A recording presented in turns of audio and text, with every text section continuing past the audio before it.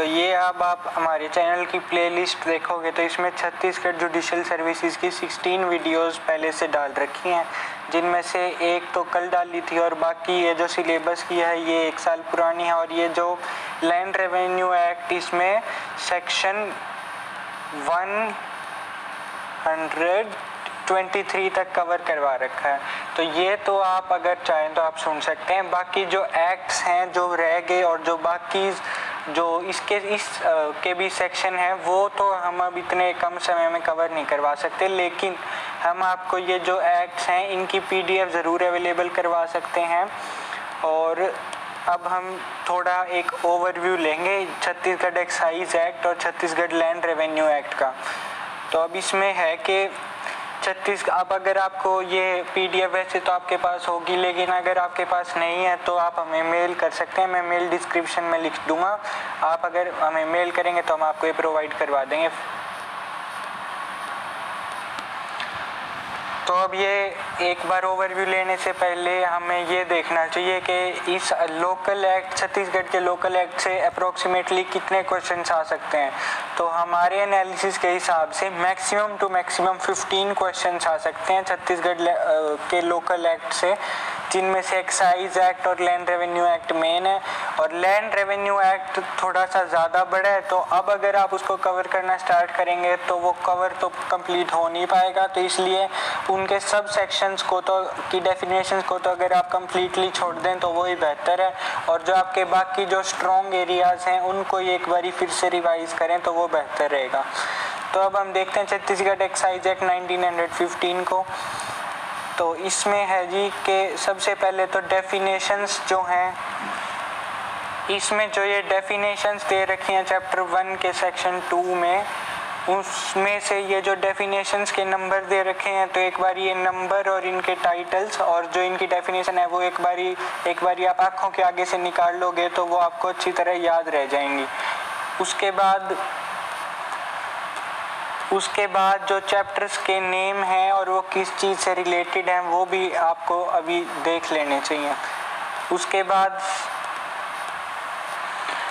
अब इस एक्ट में भी ज़्यादा फोकस इन तीन मेन पॉइंट्स के ऊपर रखना है। पहला तो कि अगर किसी सेक्शन में कोई टाइम लिमिट दे रखी है कि वो चीज़ सिर्फ़ तीन महीने के अंदर करनी है या फिर छः महीने, ऐसे कोई भी टाइम लिमिट दे रखी है तो उस सेक्शन का नंबर और उसकी टाइम लिमिट अच्छे से याद करनी है। सेकंड है अथॉरिटी तो जिस अथॉरिटी को कोई पावर दे रखी है कि ये सिर्फ़ जुडिशल मजिस्ट्रेट कर सकता है या कोई भी गवर्नमेंट ऑफिशियल तो उसके सेक्शन नंबर को भी अच्छे से याद करना है। तीसरी चीज़ अगर कोई पनिशमेंट का ड्यूरेशन या फिर टाइम लिमिट दे रखी है तो उसको भी अच्छे से उसका सेक्शन नंबर और जो उसके मेन पॉइंट्स हैं, वो भी देखने हैं।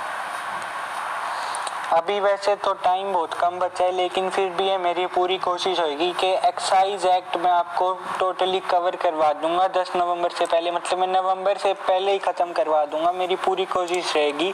और इसके साथ साथ अगर आप इसकी सीरियसली तैयारी कर रहे हैं, और अगर आप एग्ज़ाम पॉइंट ऑफ़ व्यू से जो अदर मेजर एक्ट्स हैं ऑल ओवर इंडिया के, उनको भी कवर करना चाहते हैं तो आप हमारे चैनल की वीडियोस देख सकते हैं।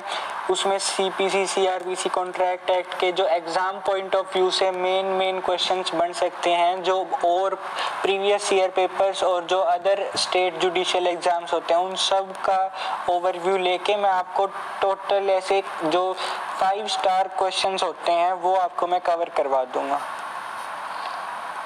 इसी पीडीएफ के अंदर आगे जाके लैंड रेवेन्यू एक्ट भी कवर्ड है। तो अगर आप मेल करेंगे तो हम आपको ज़रूर वापस रिप्लाई में भेज देंगे। और इसके साथ साथ जो भी twelfth fail judicial YouTube channel पे जितनी भी टोटल वीडियोस हैं, छत्तीसगढ़ एग्ज़ाम्स रिलेटेड और जो बाकी भी मेजर एक्ट्स के बारे में वीडियो हैं, उससे एक बार ज़रूर गो थ्रू करें। वो आपको पक्का हेल्पफुल लगेंगी। और इसके साथ अब मैं कल आपको एक नई वीडियो के साथ जो छत्तीसगढ़ जुडिशरी से रिलेटेड होगी मोस्ट प्रोबेबली एक्साइज एक्ट हम कल स्टार्ट कर देंगे और वो टेन डेज़ या इलेवन टेन इलेवन डेज़ के अंदर हम टोटल कंप्लीट कर देंगे। ज़्यादा बड़ी भी नहीं होंगी वीडियो जो मेजर हाईलाइटेड पॉइंट्स होंगे, सिर्फ़ वो ही कवर करेंगे, लेकिन जो इम्पोर्टेंट चीज़ लगेंगी, उसको हम छोड़ेंगे नहीं।